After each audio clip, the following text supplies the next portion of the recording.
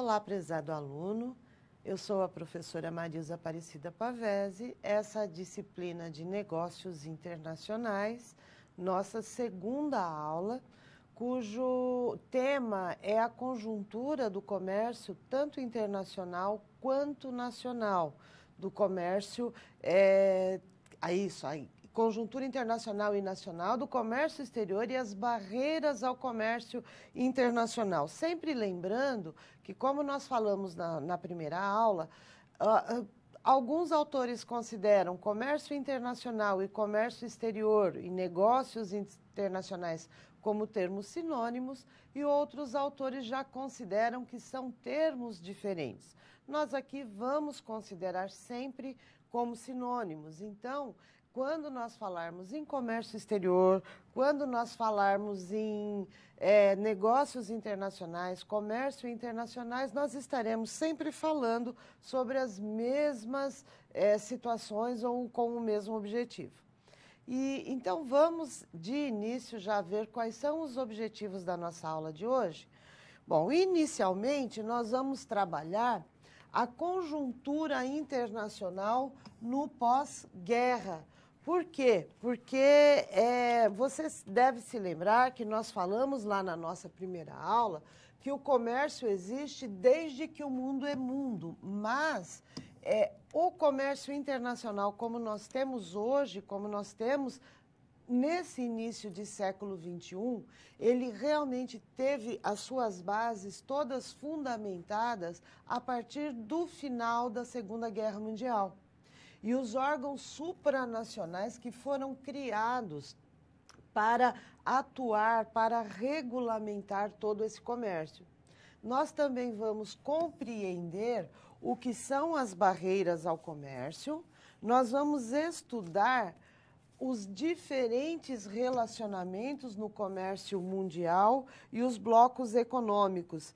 Então, nós vamos entender aqui é, de que o, existem órgãos ou existem relacionamentos que estão muito acima ou muito além das próprias nações. E, e, a partir do momento que se intensificou o comércio entre as nações, se percebeu que eram necessários órgãos reguladores que fossem supranacionais. E o que significa supranacionais? Significa órgãos que não estejam vinculados, embora nós iremos ver ao longo da nossa disciplina que esses órgãos não estão exatamente não vinculados a nenhuma nação, mas eles deveriam não ser vinculados e não estar vinculados a nenhuma nação, estar acima de todas elas e legislando sobre as relações de comércio e não só de comércio entre as nações. E também nós temos é, como objetivo estudar os blocos econômicos e a relação entre eles. E como nós falamos também na nossa primeira aula, nós estamos num momento muito conturbado das relações internacionais, principalmente quando nós falamos em blocos econômicos. Nós vamos falar em maiores detalhes ao longo da, da, da aula de hoje, mas é, salientando o Brexit, que nós tivemos Acreditávamos que já teríamos uma solução hoje nessa nossa aula, mas é, vocês verão ainda hoje que nós não temos uma solução para a saída ou um acordo para a saída da Inglaterra da União Europeia. O NAFTA também está num, num momento de mudança, de alteração. O Mercosul também não passa por seus melhores momentos, então essa aula realmente ela é bastante interessante e fala de assuntos extremamente atuais que se você é, estiver assistindo, como eu sugeri lá na primeira aula, os é, noticiários, se você estiver acompanhando a a evolução das notícias por sites de notícias, pelos telejornais, ou seja, se você estiver acompanhando a economia mundial, você verá que boa parte do que nós vamos discutir aqui na aula de hoje está na mídia o tempo todo. Vamos voltar lá para o quadro? E para fechar, nós vamos então falar também sobre como está organizado o sistema de comércio exterior dentro do Brasil. Quais são os órgãos, então, que atuam dentro do nosso comércio? Quais são os órgãos que representam ou que. Quais são os órgãos que representam ou que é, atuam no Brasil, que cria as leis, que representa o Brasil na, ou as empresas brasileiras nas relações no comércio internacional? Ou seja, uma empresa brasileira especificamente, ela não pode atuar ou conversar ou entrar com representação junto a esses órgãos supranacionais. Ela necessita de um representante do governo brasileiro para que atue ou que a defenda ou que defenda seus interesses junto a esses órgãos. E são os órgãos que são brasileiros, como CASEX, CSEX, e nós vamos estudar todos eles. E, como eu disse na aula passada, a, o acordo ou a convenção de Bretton Woods é o marco do nascimento, ou pode-se dizer que foi o ponto inicial do comércio internacional e as regras do comércio internacional como ele existe na atualidade. E aí vamos lá para o quadro, então, para entender o que é Bretton Woods.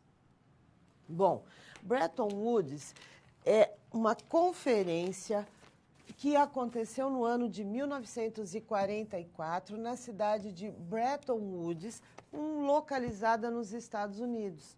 Ela é o marco do gerenciamento das relações econômicas internacionais. Então, até aquele momento, é, nós não tínhamos um órgão ou um, uma regra que gerenciasse todo esse relacionamento. A partir de Bretton Woods, pode-se dizer que aconteceu o criaram-se as normas que são que regem o comércio internacional até os dias atuais. E por que que aconteceu Bretton Woods? Porque a, o, a Segunda Guerra, o final da Segunda Guerra Mundial, que se deu no ano de 1945, determinou a vitória dos países aliados liderados pelos Estados Unidos. E a guerra, e a guerra, perdão, e a, a, a perda, né, a destruição praticamente de toda a Europa. Então, a economia mundial, o comércio mundial se encontrava numa situação bastante precária e a conferência de Bretton Woods aconteceu exatamente para que fossem criadas regras, normas e formas de ajuda e de recuperação daqueles países que foram destruídos pela guerra. Vamos voltar lá? Além disso, Bretton Woods estabeleceu então as regras para a ocorrência das relações comerciais entre os, os é, perdão, financeiras e comerciais entre os países mais industrializados do mundo. Hum, participaram 45 países, entre eles o Brasil, que assinaram o acordo de Bretton Woods e, a partir daquele momento, passaram a se submeter às regras ali criadas para atuar no comércio internacional. Foi o primeiro exemplo, sem dúvida, na história mundial e que tem atuação e validade até hoje, de uma ordem monetária totalmente negociada. Ou seja, a partir dali, instituíram-se todas as normas de atuação do, no comércio mundial, inclusive se estabeleceu uma nova moeda, criaram-se três órgãos que passaram a legislar sobre as negociações internacionais. Vamos ver quais foram as principais medidas que foram criadas em Bretton Woods. Bom, inicialmente, propôs-se a criação, então, de um sistema de gestão econômico mundial que discutiu, entre outras condições, essas que nós vamos listar aqui, são as principais é, determinações que se, é, que, que se criou em Bretton Woods. Como eu disse, foram assinados por 45 países. Hoje nós temos praticamente regendo todo o comércio mundial, mas em 1944, 45 países votaram essas novas regras. Então foram discutidas essas novas regras do comércio internacional, ou seja, o que é permitido e o que não é permitido quando se atua no comércio internacional.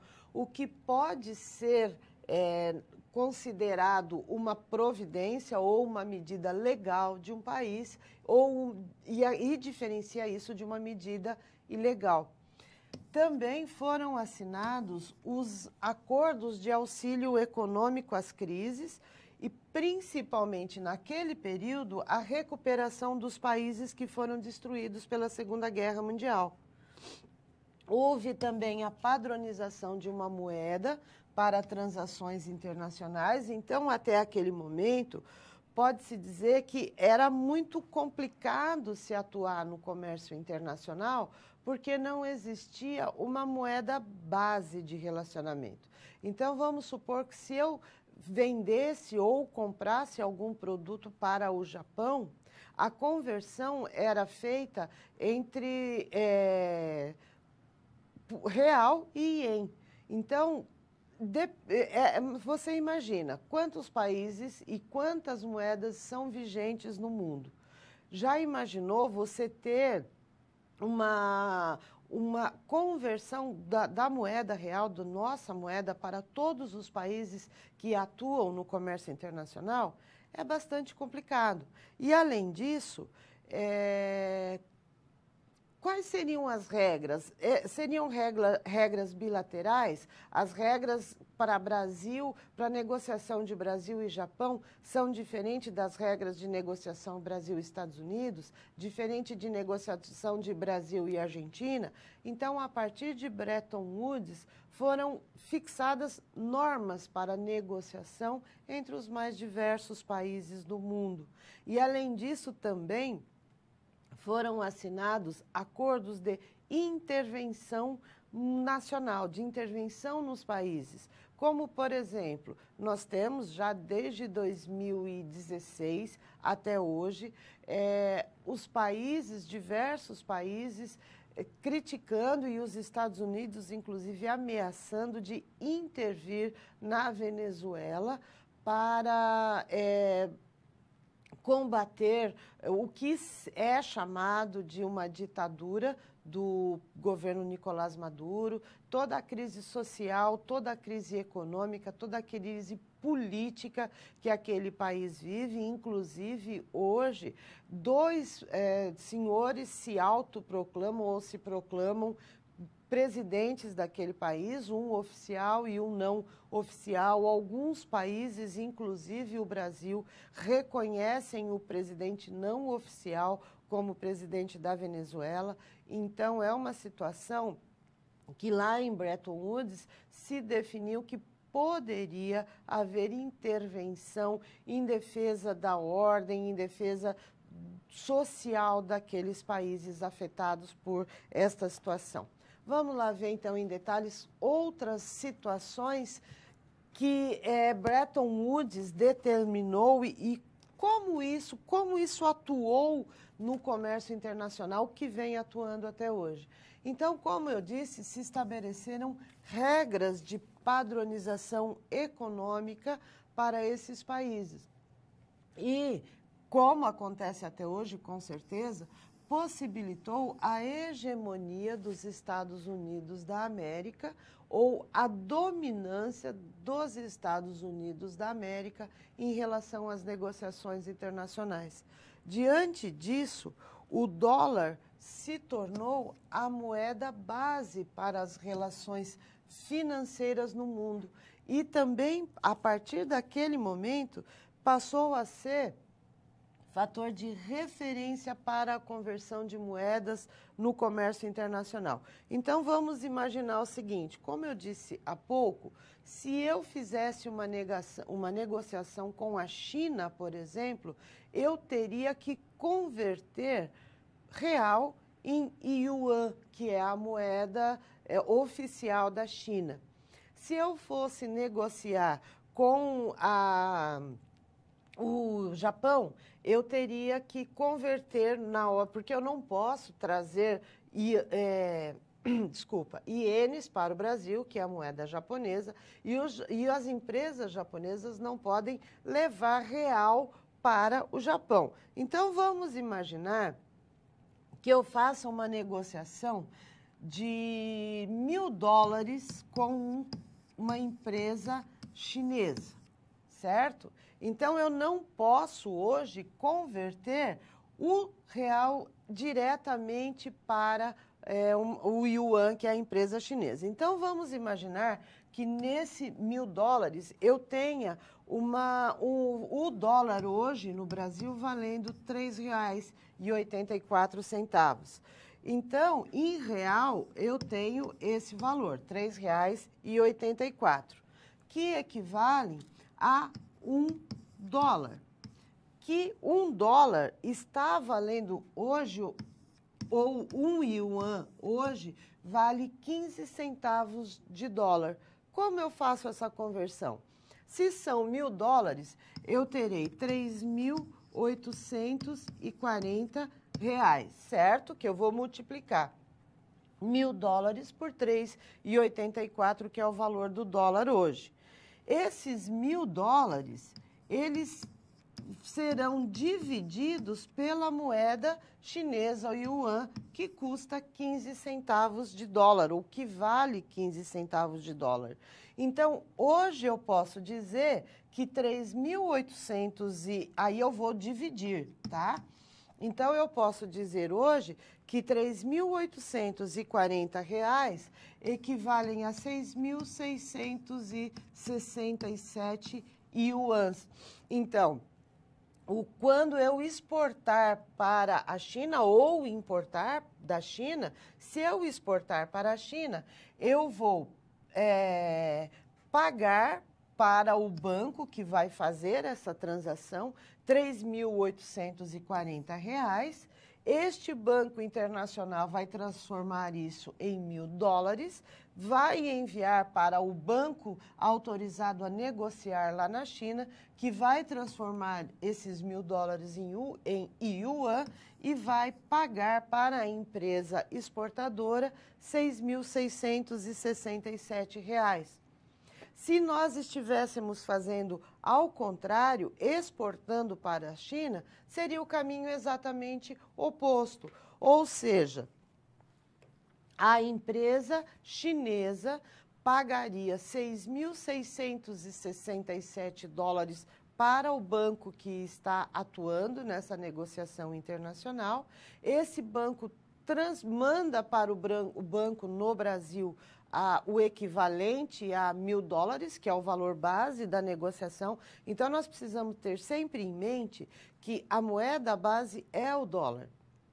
Então, toda vez que eu vou trabalhar uma negociação internacional, eu preciso pensar em dólares. Então, quanto vale essa negociação? Ah, 3.500 dólares, certo. Então, a moeda base é sempre o dólar. E aí eu vou converter para a moeda do país exportador, lá da, de fora do Brasil, ou e na hora e aqui no Brasil para o nosso real. Então, a partir desse momento, se fixou uma base de negociação tendo o dólar, que é a moeda oficial dos Estados Unidos, como moeda base. Por isso que nós dizemos que é, os Estados Unidos eles têm hegemonia e comandam, na verdade, o comércio internacional.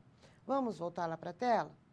Além disso, então, além de todas essas é, é, medidas importantes, também criou instituições financeiras nacionais. Lembra que nós falamos lá nos objetivos da nossa aula dos órgãos supranacionais? Esses órgãos, eles se encarregariam e se encarregam até hoje de dar o sustento necessário a esse modelo que estavam sendo criados. E foram criadas nesse período três órgãos supranacionais que atu...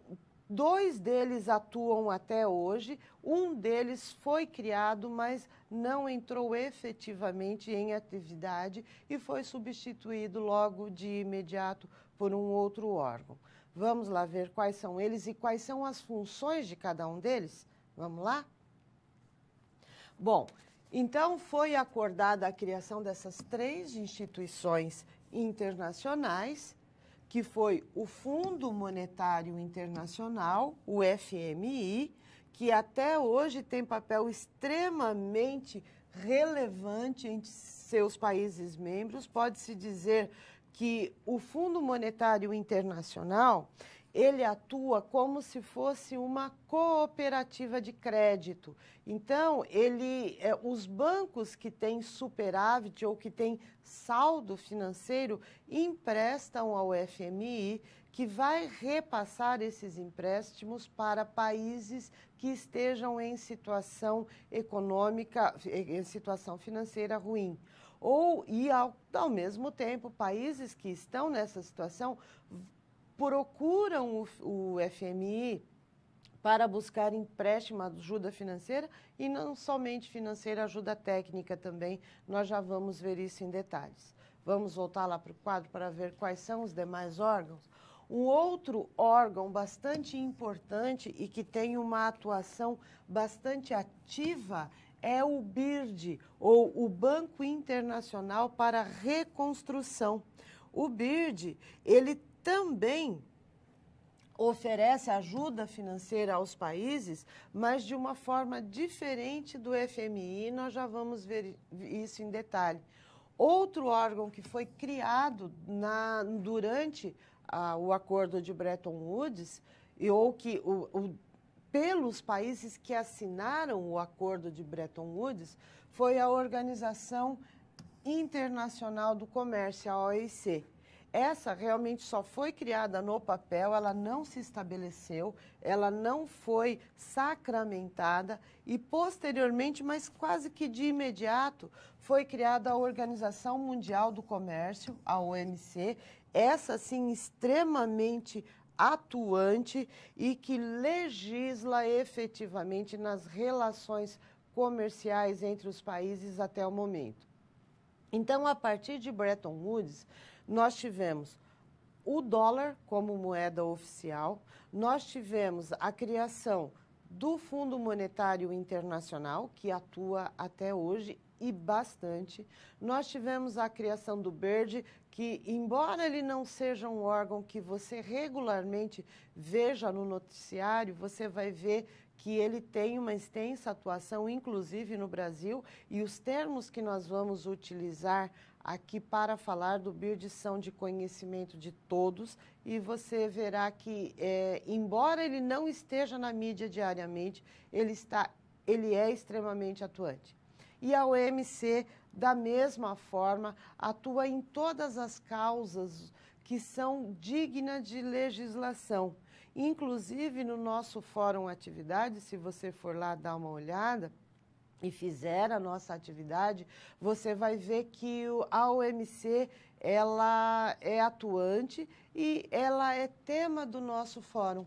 Vamos voltar lá para o quadro para ver é, quais, em detalhes, a atuação de cada um desses órgãos. Bom, o primeiro deles, o Fundo Monetário Internacional, o FMI, ele é, atua com base nas discussões de auxílio mútuo entre as nações. Ele tinha desde a sua criação e tem até o momento o objetivo de ajudar financeiramente países em situação de crise econômica ou acometida por catástrofes naturais. E tem como objetivo maior promover o comércio internacionais entre os países. O Brasil é um, é um país que atua efetivamente no, no, junto ao FMI, que busca auxílio, auxílio não apenas financeiro, mas também auxílio técnico. Nas décadas entre 1980 e 1990, o Brasil buscou empréstimos junto ao FMI com bastante regularidade E quando um país busca principalmente auxílio financeiro junto ao FMI, ele praticamente dá uma carta branca ao Fundo Monetário Internacional de atuar ou de intervir nas políticas econômicas do país. Então, o FMI ele empresta a esses países que necessitam de ajuda financeira, seja por uma conjuntura econômica instável, seja por uma catástrofe natural. Então, quando nós tivemos o terremoto no Haiti, que praticamente destruiu a capital inteira e boa parte do país, o FMI teve atuação bastante ativa na recuperação do, do Haiti. O Brasil também, nesse período, até 1990, buscou muitos empréstimos junto ao FMI e, nessas condições, o órgão atua dizendo, olha, ok, você eu, está aqui, você vai receber ajuda financeira, mas você deverá que deverá tomar as seguintes medidas, as seguintes medidas. Novamente, o Brasil buscou a ajuda do FMI agora entre os anos de 2017 e 2018, mas nesse caso foi é, uma consultoria técnica buscando orientações do que precisaria é, ser implantado na economia brasileira para melhorar a, o PIB, para melhorar, melhorar a atuação da economia. E no relatório técnico do FMI, nós tivemos a orientação de que o Brasil tem muito poucos investimentos públicos na economia brasileira e que isso estaria causando uma estagnação. Vamos lá para o quadro, só para nós registrarmos essa situação. Olha, segundo o FMI, de 1995 a 2015, o Brasil investiu somente 2% do seu PIB ou do seu produto interno bruto em, em, eh, investiu em, na economia brasileira, ou seja, houve investimento público. Em comparação a outros países, nesse mesmo período, o investimento foi de 6,4%. Ou seja, segundo o FMI, grande parte da estagnação da economia brasileira que tem se dado, principalmente da, da, crise em que o Brasil estava, que foi mais acentuada no ano de 2014, é em virtude da falta de investimento público na criação e na geração de riquezas. Então, o FMI ele atua basicamente quando se fala em crises financeiras e crises econômicas, diferente do BIRD. Vamos lá dar uma olhada de qual é a atuação do nos, junto aos países? Bom, o, antes de nós chegarmos. Ah, nós tivemos uma. Aí, perdão. O Aê, agora sim, nós estávamos falando do FMI, agora nós vamos ao BERD, perdão, né? essas observações que nós fizemos aqui em relação ao Fundo Monetário Internacional. Em relação ao BERD, ele foi criado com o objetivo de auxiliar, porém de uma forma realmente bem mais direcionada, aquelas nações que sofreram com calamidades ou que precisam de melhor infraestrutura para o seu crescimento. Então, o BIRD, ele tem como objetivo atuar mais no países em desenvolvimento. As causas do BIRD são basicamente causas sociais. Então, quando nós falamos de FMI, nós falamos de causas financeiras e quando nós falamos do BIRD, nós falamos em causas sociais. Então, ele empresta a países que estejam em desenvolvimento e que precisam é, investir em causas sociais dentro do país. Atualmente, 187 países são filiados ao BIRD, inclusive o Brasil.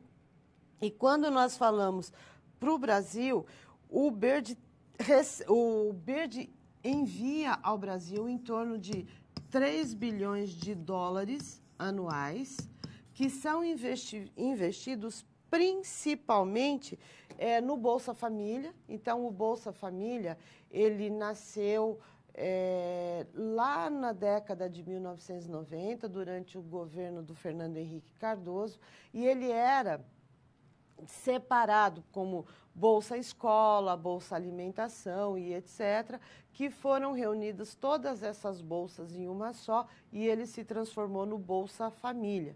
Então, o Brasil recebe anualmente em torno de 3 bilhões de dólares do BIRD para investir em infraestrutura, mas sempre pensando em causas sociais e nunca em causas econômicas e financeiras ok? Então, a diferença entre BIRD e FMI é que o FMI socorre o país na ajuda econômica, na ajuda financeira, apoio técnico, sempre pensando em economia. O BIRD atua nas causas sociais, quando você pensa em catástrofes, calamidades, o, a situação social, a situação de falta de alimentos na Venezuela, por exemplo, é um grande exemplo de formas de atuação do BIRD. E um terceiro órgão é a OMC, mas antes de nós falarmos da OMC, que é, que é resultado da conferência de Bretton Woods, nós vamos falar da Câmara de Comércio Internacional, que, embora não seja um órgão que tenha sido criado na conferência de Bretton Woods, principalmente por ser um órgão anterior a ela, é, ele é muito importante quando nós falamos em relações internacionais de comércio. Vamos lá dar uma olhada? A Câmara de Comércio Internacional, então, ela foi criada em 1919. Ela defende os interesses, ó, veja bem, neste caso, a Câmara de Comércio Internacional, ela não é um órgão de defesa dos países, mas sim das empresas que atuam no comércio internacional. É ela como se ela fosse um sindicato mundial empresarial. Ela busca sempre a defesa da globalização, ela busca e incentiva a, a flexibilização das regras para fomentar o crescimento econômico das nações. E aqui uma é, proposta que você vai ver na nossa próxima aula, na nossa aula 3, que é a base dos transportes ou das negociações internacionais hoje em dia, na atualidade, que são os incoterms. E o que são os incoterms? International Commercial Terms, ou seja, em português, os termos internacionais do comércio os incoterms, eles são os termos utilizados para definir as responsabilidades de importador e exportador numa negociação. Então, quem deve é, contratar o seguro, quem deve contratar o frete, quem deve pagar o frete, quem é responsável de resolver, por exemplo, no caso de uma catástrofe com aquela mercadoria. Então, os incoterms hoje, a partir do momento que eles são inseridos numa negociação, eles se tornam é, oficiais para aquela negociação.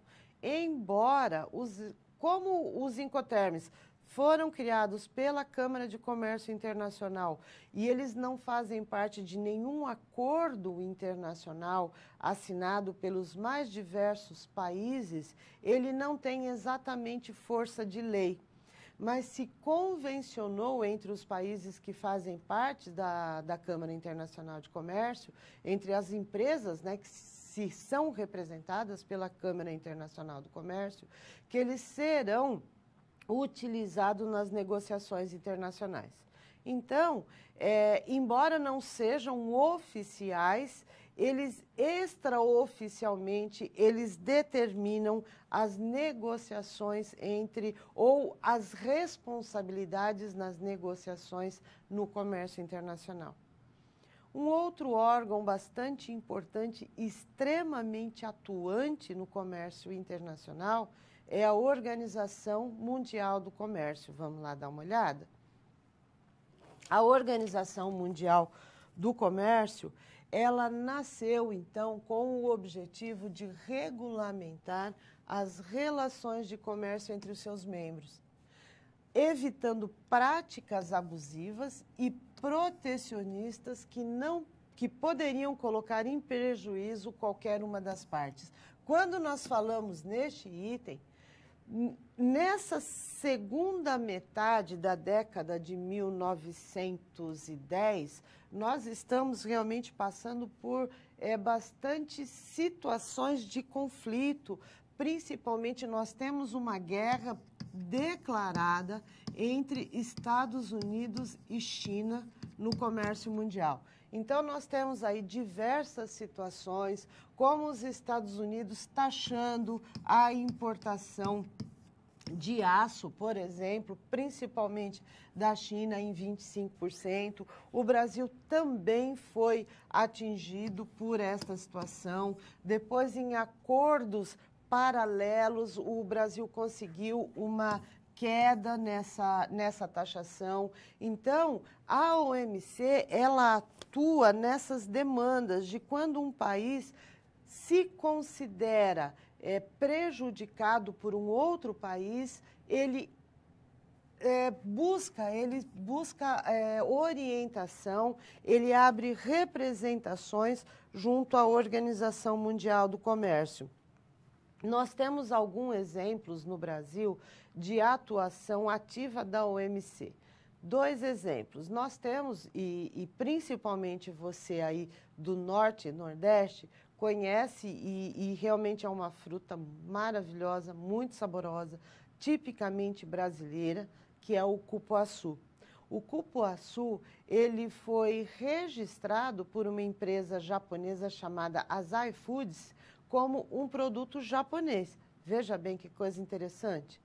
Aí o Brasil, representado por seus órgãos é, supranacionais, com seus órgãos nacionais que atuam no comércio ou junto aos órgãos supranacionais, entrou com uma representação junto à Organização Mundial do Comércio, comprovando que o cupuaçu é uma bebida, é uma fruta tipicamente brasileira e que de forma alguma poderia ser registrado por um país que nem tem a fruta, não tem a árvore, não tem a planta lá.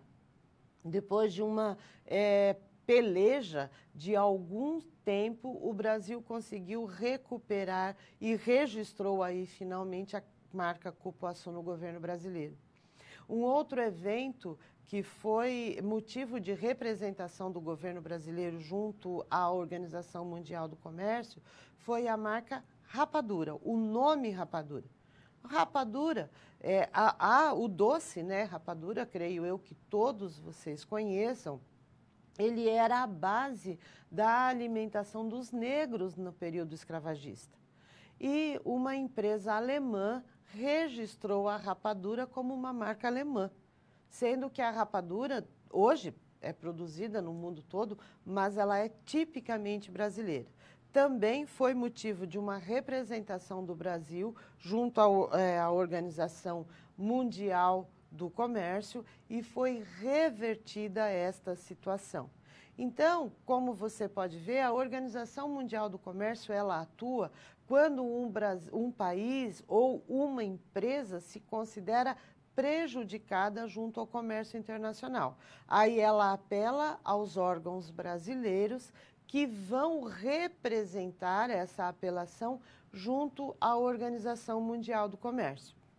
E aí, a Organização Mundial do Comércio, através da legislação, por meio da, dos, das regras e normas que existem nesse comércio, vai analisar e, e determinar se esta representação tem validade ou não. E a partir desse momento, ela tomará as medidas necessárias de sanção, caso positivo, certo?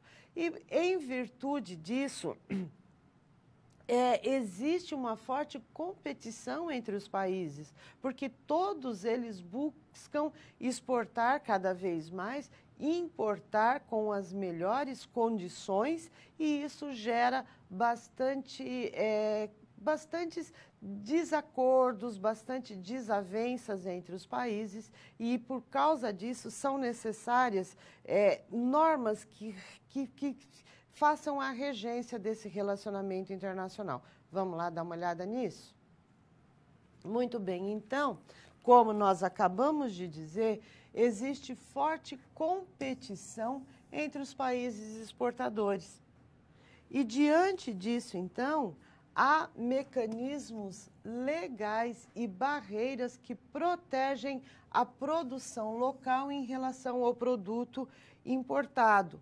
Eu vou dar um exemplo para você de é que vai ficar bastante claro quais são as possíveis barreiras, e nós já vamos falar de quais são barreiras é, que são possíveis de aplicação, mas vamos dar um exemplo. O Brasil é um grande consumidor de trigo, mas ele não é autossuficiente na produção de trigo. O Brasil faz parte do Mercosul. Então, existe um acordo, e nós vamos já ver nos, é, quando nós falarmos dos blocos econômicos, que quando o Brasil é, precisar importar trigo, ele vai procurar inicialmente o nosso parceiro, a Argentina, que faz parte do mesmo bloco econômico que o Brasil, para importar a, a, o, a, o que falta, ou seja, a demanda a, que precisa entre o que o Brasil produz e o que o Brasil consome. Então, neste caso, as barreiras é, econômicas é, que, que, geralmente são geradas para coibir a importação, elas são eliminadas. Então, vamos supor que o Brasil é, consuma 10 mil toneladas de trigo anuais, produziu 6 mil toneladas. Então, ele abre a importação para 4 mil toneladas. Em 2019, o Brasil continua consumindo 10 mil toneladas, mas produziu 8 mil toneladas. Então, ele aumenta, ele cria uma barreira de corte de quantidade de importação para 2 mil toneladas, enquanto que em 2018 eram 4 mil. Então, essas barreiras, quando elas são consideradas legais para proteger a indústria nacional é, e não são prejudiciais ao comércio internacional, elas são legais e são encaradas normalmente. Ou então, outra barreira, sobretaxar. Então, vamos dizer que o Brasil consome é, 10 mil toneladas, produziu 8 mil, então ele libera a importação de 2 mil toneladas de trigo a imposto de importação zero. Além disso, taxa o imposto de importação em 10%, por exemplo. Então, essas barreiras são normais, são legais e não existe nenhum impedimento para que elas aconteçam. Mas existem outras formas de barreiras. Vamos voltar lá? Quando da implantação de leis que favoreçam ou impeçam a entrada de empresas ou produtos no países também sofre influência política. E quando essa influência ela é considerada negativa, aí nós temos aquilo que nós chamamos de anomalias no comércio internacional. Então, quando os governos atuam, e aí nós já vamos falar em detalhe também dessas anomalias, quando os governos atuam de forma a politicamente criar barreiras que não sejam consideradas leais, aí entram em ação os órgãos internacionais. E também setores específicos tendem a ser favorecidos nas relações de comércio. Por exemplo, em, é, em troca de tecnologia, em a troca de é, conhecimento na agroindústria. Então, vamos pensar o seguinte: o Brasil, embora é, tenha, faça parte do, parte do Mercosul e tenha um relacionamento, vamos continuar usando como exemplo o trigo, e tenha um relacionamento ou um acordo de negócios com a Argentina para importação da nossa é, demanda de trigo, o Brasil de, está propondo ou está pretendendo fazer uma troca com os Estados Unidos de tecnologia com a agroindústria. Por exemplo, o Brasil está pretendendo abrir um, um, uma certa importação, propõe-se, ainda não foi determinado, mas em torno de 750 mil toneladas de trigo. E, em contrapartida, os Estados Unidos importariam, passariam a importar carne brasileira. E no caso do nosso do trigo da carne, a troca aqui poderia ser, poderia não, deve ser a é, disponibilização ou a, a, a troca de tecnologia, o envio de tecnologia avançada, a disponibilização de tecnologia avançada para que o Brasil melhore seu parque industrial ou a sua produção em, quando nós estamos falando do trigo, por exemplo. Então, normalmente, quando se fala em negócio internacional, nós temos não só a atuação dentro dos blocos econômicos, nós temos também a atuação em acordos bilaterais, quando esses países consideram que haverá vantagens de não se atuar exatamente dentro daquele bloco econômico, mas de se atuar em acordos bilaterais como nações mais favorecidas.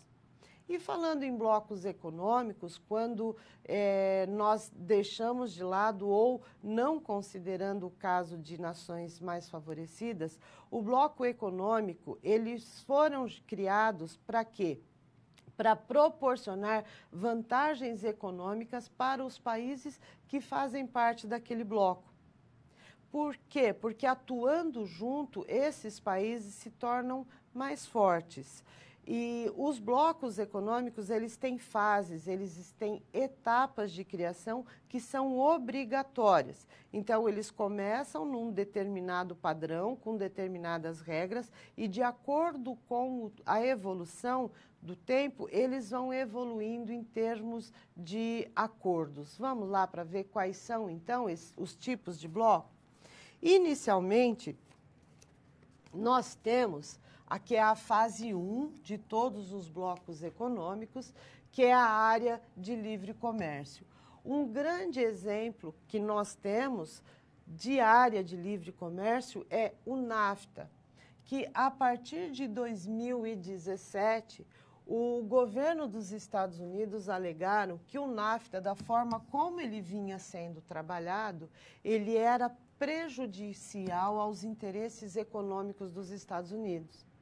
E a partir dali foi proposto o, um novo bloco econômico em substituição ao NAFTA, que é o USMCA, que em, em, em inglês significa os, a inicial né, dos três países que fazem parte do bloco, USA, México e Canadá, que é um acordo, então, entre Estados Unidos, México e Canadá, tem sido conhecido na atualidade como NAFTA 2.0. E no caso do NAFTA 2.0, é, certamente ainda não se publicou exatamente quais são as bases de negociação do, do dentro do, do, do NAFTA 2.0, mas certamente as regras irão valorizar muito mais é, ou priorizar muito mais os interesses dos Estados Unidos é, demorou um pouco para México aceitar essa nova negociação, porque o México exporta muito mais para os Estados Unidos do que os Estados Unidos exportam para o México. E essa mudança de regras visa exatamente isso, deixar mais equilibrada essa balança comercial entre esses dois países. Então, o México teve uma certa resistência, mas acabou cedendo e, e ainda é incipiente, não se sabe exatamente quais são as normas que irão reger o NAFTA, mas pode-se dizer que aquele NAFTA que se conhecia até 2017, no início de 2018, ele praticamente morreu. Então, essa é a primeira fase. E a única coisa que acontece entre os países nessa primeira fase, que o próprio nome já diz, é o livre comércio. Então, a única coisa que existe de livre entre os países México, Estados Unidos e Canadá é a, o trânsito de mercadorias. Não existe o livre trânsito de pessoas, muito pelo contrário. Inclusive, o, uma das promessas de campanha do do governador, do, perdão, do presidente Trump, é de que ele iria construir um muro na divisa entre Estados Unidos e México, justamente para proibir a entrada de estrangeiros pela fronteira mexicana. Então, o NAFTA 2.0 ou o NAFTA ou o SMCA, ele tem como base simplesmente o livre trânsito de mercadoria entre esses três países. Vamos voltar lá para o quadro? A segunda fase de blocos econômicos, e como eu disse, são obrigatórias essas fases, você não pode pular desta para esta fase, por exemplo, você tem que obrigatoriamente passar por todas elas. A segunda fase é a união aduaneira, que é, no caso, o Mercosul representado. Então, foi criado, o Mercosul foi criado por Brasil, Paraguai, Uruguai, Argentina e Venezuela. E é, a Venezuela, e, e depois tive, teve a adesão de outros países de praticamente toda a América do Sul. Mas no, em dezembro de 2016, desde dezembro de 2016, a Venezuela está suspensa do Mercosul. E em virtude de todos os problemas sociais, políticos, econômicos que a Venezuela enfrenta, inclusive que nós já acabamos de comentar, que existem dois presidentes que se declaram presidentes da Venezuela, um oficial e um extraoficial. Nós temos mais de 50 países que reconhecem esse presidente não oficial. Então, em virtude de toda essa situação, os demais países optaram por suspender a Venezuela do Mercosul.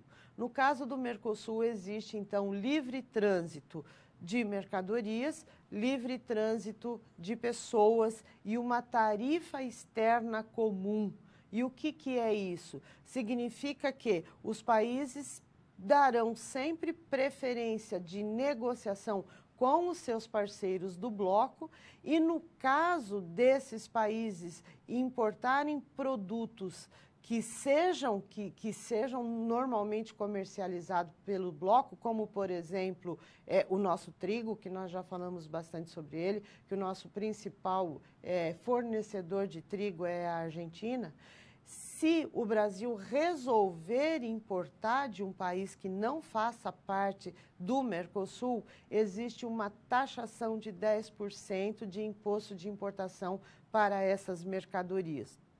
O Mercosul também está numa fase de, eh, de, turbulência, não só pelo caso da Venezuela, mas por outra situação, pela crise é, muito forte pela qual passa, a crise econômica muito forte pela qual passa a Argentina nesse, no atual momento. A Argentina é o nosso terceiro maior parceiro comercial, então isso afeta a, a economia ou o comércio internacional brasileiro diretamente. E, além disso, o governo, atual governo brasileiro eh, declarou recentemente de que o Mercosul não é prioridade para o Brasil, então deixou bastante claro que pretende fazer negociações mais interessantes para o Brasil eh, com outros países fora do Mercosul. E essa eh, situação de importação de 750 mil toneladas de trigo dos Estados Unidos tendo contrapartida os Estados Unidos reabrirem a importação de carne bovina brasileira, já é uma mostra de que realmente não tem como prioridade, o governo não tem como prioridade exatamente o comércio no Mercosul. Essas 750 mil toneladas estariam livres do imposto de importação de 10%, que seria a tarifa determinada por seus membros para eh, importação desse trigo norte-americano. Aí já abre uma prerrogativa, por exemplo, para a Argentina entrar, não sei se é interessante para a Argentina, em virtude de todo o relacionamento que o Brasil tem e de tudo que o Brasil importa da Argentina, mas seria uma condição, por exemplo, da Argentina entrar com uma representação junto à Organização Mundial do Comércio, é, sinalizando de que o Brasil está descumprindo um acordo de Mercosul a partir do momento que vá trazer para a taxa de importação zero o trigo norte-americano para o Brasil, em detrimento da importação do trigo argentino. Certo? E tem uma, a terceira fase dos blocos econômicos, que também passa por uma situação bastante é, turbul de turbulência, é a União Europeia. Vamos lá dar uma olhada? Tá. Então, a fase 3 é quando nós temos o mercado comum, que são as políticas comum e livre trânsito de mercadorias e de pessoas. Então, nesse caso do mercado comum, que é transitam políticas, é, políticas comuns. Então, esses países que fazem parte dessa união aduaneira, do mercado comum, perdão, que é a União Europeia, eles utilizam as mesmas políticas para fora do, da União Europeia, eles têm livre trânsito de mercadoria e de pessoas, eles têm as mesmas taxações, e, finalmente, o último bloco, a última fase da união, é, da, da, dos blocos econômicos, é a união econômica. E nesta fase, além das políticas comuns, do livre trânsito de mercadoria e de pessoas, esses países também adotam uma mesma moeda, que é no caso da União Europeia, que adotaram o euro. No caso da União Europeia, que não é diferente dos demais blocos, está passando também por uma situação bastante é, agitada, que é o Brexit, que, como nós falamos, Brexit significa em inglês Britain Exit, que é saída da Inglaterra, da União Europeia. É, teoricamente, e eu digo teoricamente porque é 10 de abril era a data para a saída definitiva da Inglaterra da União Europeia, mas assim, aos 45 minutos do segundo tempo, no dia 9 de abril, como não existia nenhum acordo fechado para a saída da Inglaterra da União Europeia, isso foi prorrogado para o dia 30 de junho e já foi sinalizado que essa data pode ser novamente prorrogada. E pode-se dizer que esse acordo, e o que seria esse acordo? É basicamente o seguinte: é, você tem. Vamos imaginar um divórcio. Então, quando um, duas pessoas se divorciam, elas precisam entrar num acordo entre divisão de bens, guarda de filhos e etc. O Brexit, esse acordo do Brexit que não está é, sendo feito, é exatamente isso. De que forma a Inglaterra vai deixar a União Europeia? Ela vai é, retroagir em termos de fase de bloco? Ela vai ter só livre trânsito de mercadorias? Ela vai ter livre trânsito de pessoas? O que, que vai acontecer? E isso ainda não foi definido. Então, diante disso, é, existe aí o impasse, como você pode ver nos três principais blocos é, econômicos do mundo, existe um impasse ou existe uma ebulição, as suas regras não estão exatamente claras, e é por isso que nós dissemos que o comércio internacional, nessa segunda fase da década de 1910, realmente está bastante atribulado. E diante disso, eu vou te propor uma atividade. Nós só é, pense um pouquinho, vá, pense e, e você mesmo responda aí para si se no acordo de Bretton Woods o dólar não tivesse se transformado na base monetária do comércio internacional, os Estados Unidos atualmente teriam a mesma influência e dominância em relação ao resto do mundo como tem hoje? pense um pouco, nós vamos dar andamento, claro, na nossa aula, mas pense um pouco e, e me passe, ou me mande, me mande pelo, pelo fórum, ou me mande via tutora a sua observação no chat da próxima aula. Me conta, você acredita que eh, os Estados Unidos hoje teriam a hegemonia que tem se o dólar não fosse utilizado como a principal moeda ou como a única moeda que pode ser utilizada no comércio mundial? Eu, particularmente, acredito que sim, porque a hegemonia norte-americana não está relacionada apenas e simplesmente à moeda. Talvez um pouco menos dominante, mas é, a política externa norte-americana, o poderio industrial norte-americano, o, o produto interno bruto norte-americano são muito fortes. Então, eu acredito que sim haveria essa hegemonia, talvez não tão forte, mas ainda predominante. E vamos falar então, como nós brevemente falamos ali das barreiras ao comércio, vamos ver quais são elas e como elas são é, implantadas.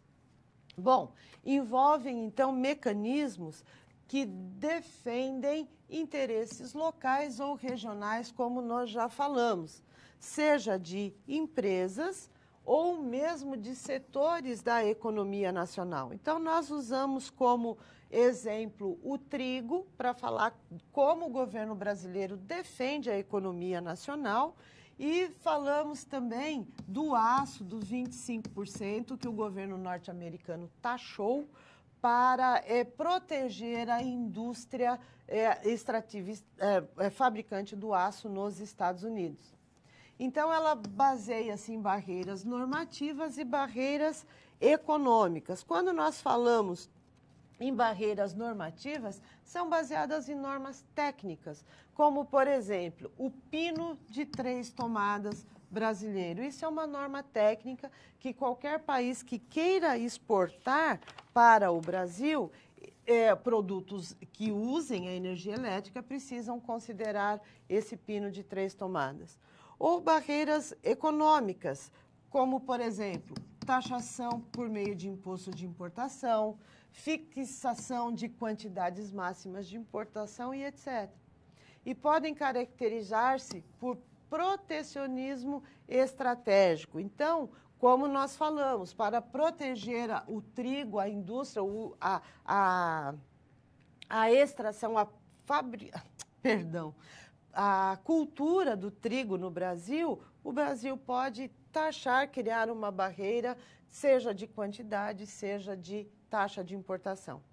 E podem surgir também de imposições comerciais ou tratados e acordos, como eu falei da TEC, da Tarifa Externa Comum, que é adotada entre os países da América do Sul, entre os países que fazem parte do Mercosul. E quais são as modalidades das barreiras comerciais, então? Elas podem ser do tipo alfandegárias, como impostos de importação, taxas que de, de, de sobretaxa ou taxas que vão aumentar o valor final da mercadoria importada quando ela for nacionalizada, através de cotas de importação, que nós falamos em termos de quantidade, referente a volumes, produtos, gêneros, ou também o câmbio como limitante do poder aquisitivo. Por exemplo, se nós tivermos o dólar a R$ 4,50, por exemplo, se, esse, se o governo, normalmente o dólar, o dólar brasileiro ele é fixado pelo livre comércio, pela lei de oferta-procura, ele não é pré-fixado. Mas muitas vezes, dependendo das políticas internacionais, ela possui uma influência direta no comércio, no, no valor do dólar no Brasil. E neste caso, é, um dólar valendo R$ 4,50, por exemplo, certamente vai coibir a importação brasileira. Ok? Então, o dólar também pode atuar como uma barreira para importação. Vamos voltar para o quadro? Outros tipos de barreira. bloqueios de importação ou limitações transitórias.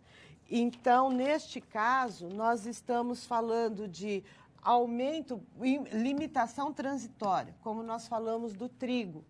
Se aumenta a importação brasileira, o Brasil cria uma cláusula de quantidade de limitação que é transitória. A partir do momento que se cai a produção brasileira, o Brasil pode eliminar essa barreira para liberar o maior número de importação.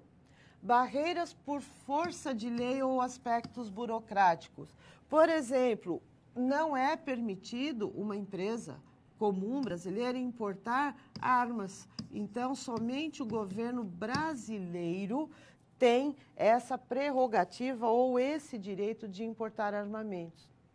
E também estão condicionadas ali questões de saúde pública ou ambientais. E o que isso significa? Quando o governo brasileiro fixa, a, determina a proibição de importação de determinadas plantas ou animais que possam causar problemas à flora e fauna brasileira. Eu vou citar um exemplo para quem é do litoral paulista, por exemplo, é, nós temos um problema muito sério de um caramujo chamado escargot. O escargot foi importado há algumas décadas por algumas é, empresas da França. Na França ele é considerado uma iguaria muito cara, muito saborosa, mas no Brasil realmente não teve o menor sucesso. E essas empresas não sabiam o que fazer com esses caramujos, porque não tinham como exportá-los de volta e a produção estava muito alta. E eles foram soltos na natureza. E hoje, como ele não possui predador natural, hoje em dia é um problema sério no, no, no, no litoral brasileiro, principalmente no Sudeste. Então, essas barreiras são criadas quando existe risco de é, causar danos à flora e à fauna brasileira, ou em termos de saúde pública, é, é, produtos, vacinas, remédios que poderiam causar, que não são autorizados à comercialização no Brasil. Vamos voltar lá?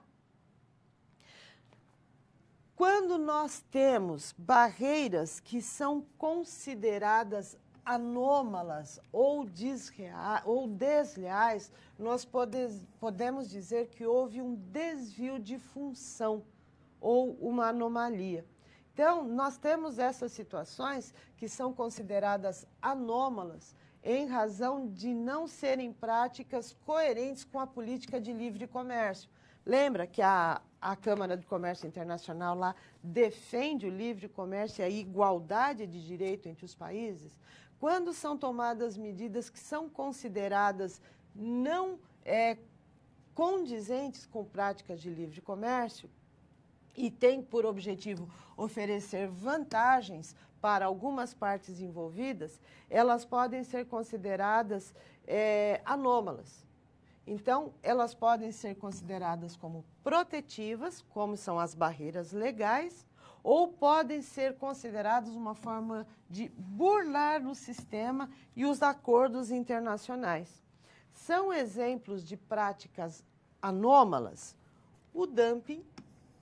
O dumping ela é uma prática de venda de determinado produto abaixo do valor de mercado. Ou seja, vamos imaginar o seguinte: vamos dar um exemplo de dumping para ficar bastante claro uma, uma indústria ou um país quer é, tá com excesso de produção de celulares, por exemplo. É um exemplo, não é exatamente isso que acontece, infelizmente, ou felizmente, mas é, vamos pensar que um fabricante chinês está com uma produção muito grande de celulares e quer desovar para o resto do mundo esses celulares. Então, o que, que o governo chinês faz? Ele banca parte do custo desta empresa para que ela consiga exportar esses aparelhos celulares com valores abaixo do mercado. Então, vamos supor que esse celular tem um custo de fabricação de 2 mil dólares. o governo chinês banca 500 dólares e essa empresa chinesa exporta esse produto por 1.500 dólares. Os demais fabricantes nos países importadores não conseguem concorrer com esse fabricante, por quê? Porque esse produto está sendo subsidiado e a, to, acabam quebrando, acabam perdendo a sua competitividade. E neste sentido, então, esse produto chinês entra com liberdade no país. Esta empresa brasileira, se for para o Brasil, é, acaba em, abrindo falência ou decretando recuperação.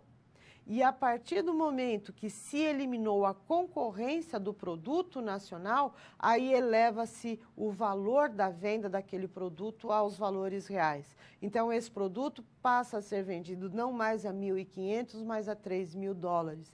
Esta prática se chama dumping e ela é considerada uma prática desleal no comércio internacional. Vamos voltar lá?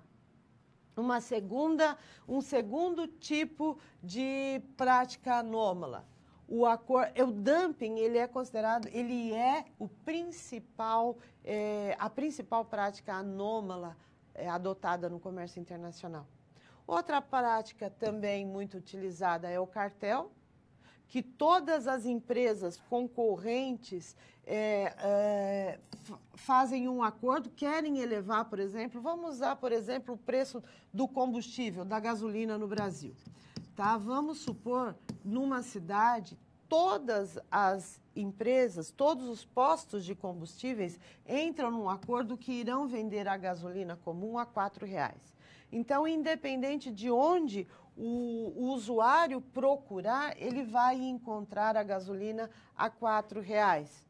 Ou seja, não existe opção. Isso não significa, não está sendo aplicada a lei do livre mercado. No comércio internacional, essa prática também é utilizada e também é digna de representação junto à Organização Mundial do Comércio.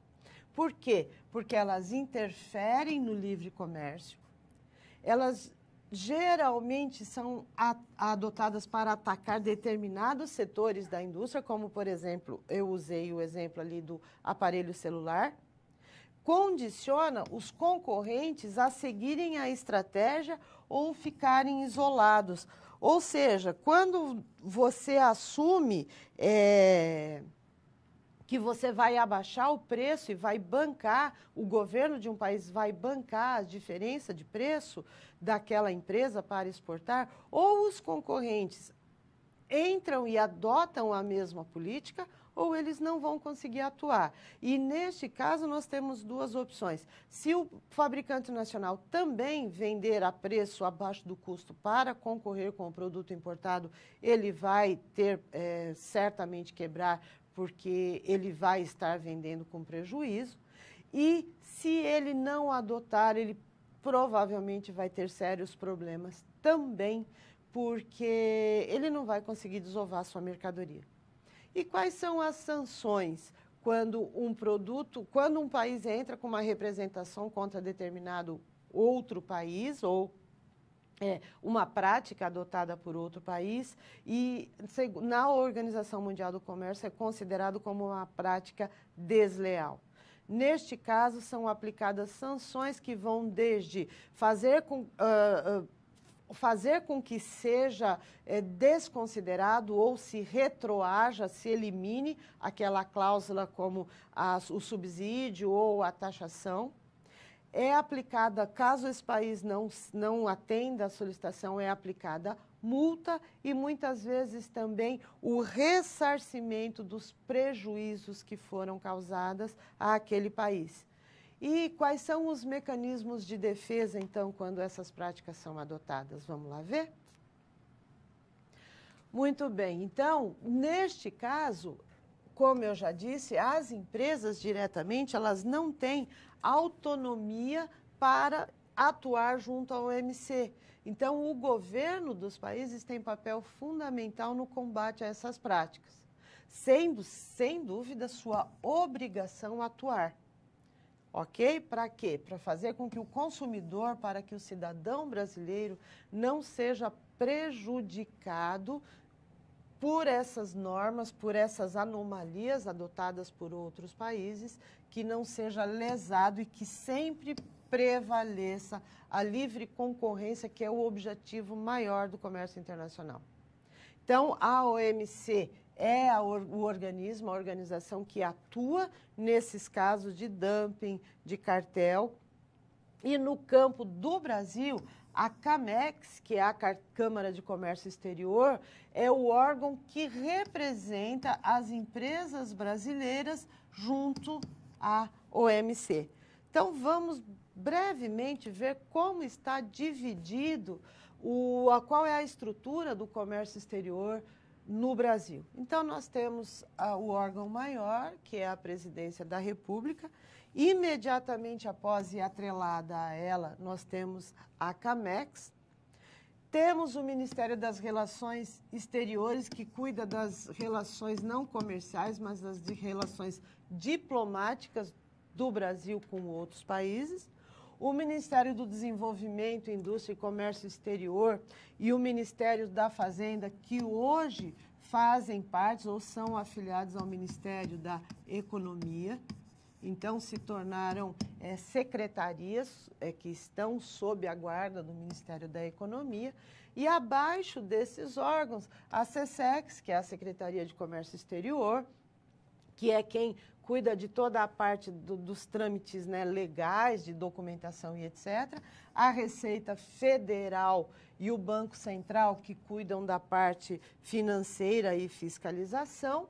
E os órgãos anuentes, que são o Ministério da Defesa, quando se trata de segurança nacional, a Anvisa, é, quando se trata de medicamentos, saúde é, e etc. E o Ministério do Abastecimento, Pecuária, Agricultura, é, Pecuária e Abastecimento, que cuida da parte da agroindústria. E aí nós temos outros órgãos menores que todos eles juntos se têm como objetivo defender os interesses das empresas, do cidadão e do governo brasileiro.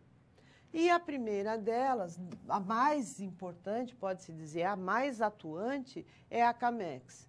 Então, ela tem, ela, for, ela tem como objetivo formular, adotar, implementar, coordenar as políticas e as atividades relativas às empresas e ao governo brasileiro no comércio internacional, sejam bens, sejam serviços, é, mesmo turismo. Então, ela atua na legislação do, do comércio internacional brasileiro.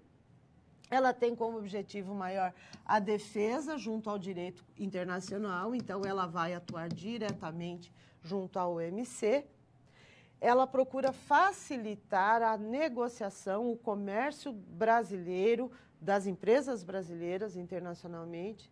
Ela também é, legisla sobre o financiamento e as garantias às exportações brasileiras.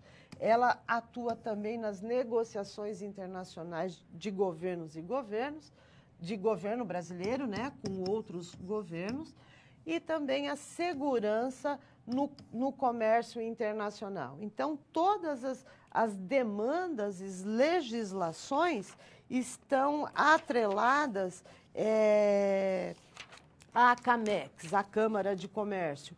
Por quê? Porque, como nós já dissemos, o governo, as empresas brasileiras, elas não podem atuar, elas não têm autonomia para entrar com é, com representação junto aos governos ou aos organismos internacionais. Então, é, o, a CAMEX ela está sempre acima de qualquer ato, de qualquer atitude que vá tomar o governo brasileiro junto aos órgãos internacionais. E o último órgão importante do qual nós vamos falar é a CSEX. Vamos lá dar uma olhada na CSEX? A CSEX, então, ela é subordinada ao Ministério, agora Secretaria de Desenvolvimento, Indústria e Comércio Exterior, e atua no comércio exterior em atividades que não sejam é, de responsabilidade da CAMEX Dentro da CSEX, nós temos o Ciscomex, que é o programa, que é o organismo, o sistema de comércio exterior. Ele possui, é um sistema realmente onde exportadores e importadores irão entrar para quê?